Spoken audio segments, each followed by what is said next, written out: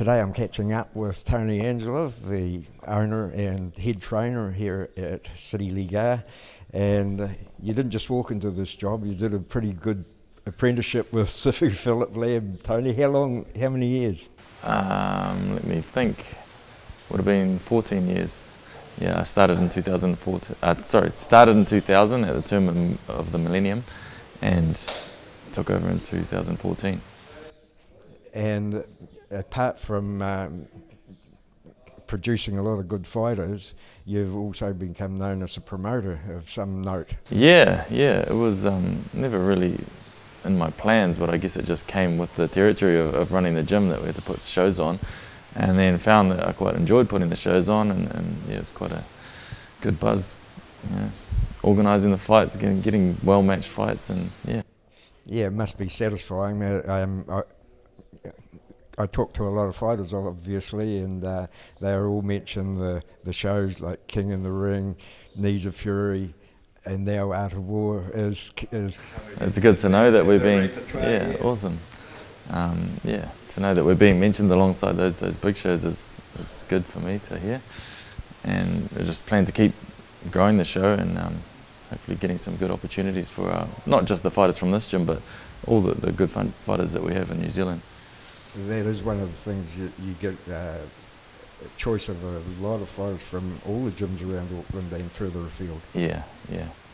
Um, I think with like our country produces amazing fighters, and I think that, that the rest of the country should know about them. You know, like uh, we're not one of the mainstream sports that you read about in the paper or see on the news, but hopefully in time, you know, we will hear more and more about all the athletes well, you usually run three shows.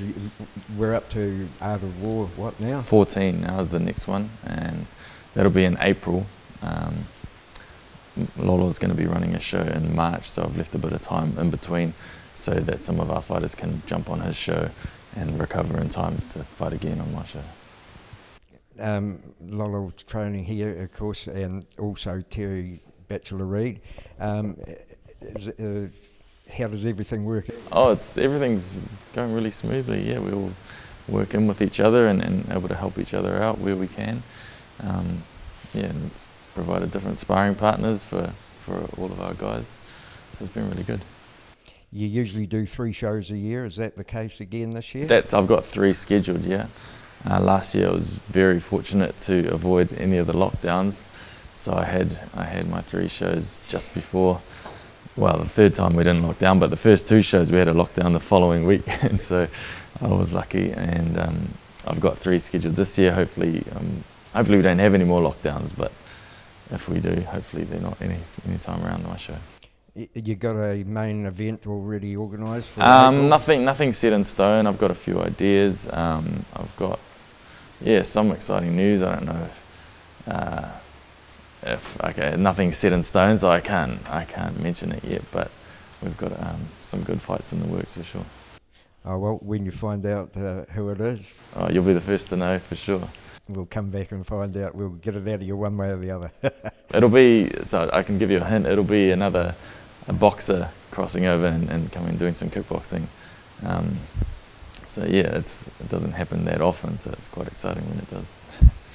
Okay, we look forward to it, Tony. Hey, thanks for your time. Not a problem. Good to speak Cheers. to you. Cheers, Tony. Appreciate it, man.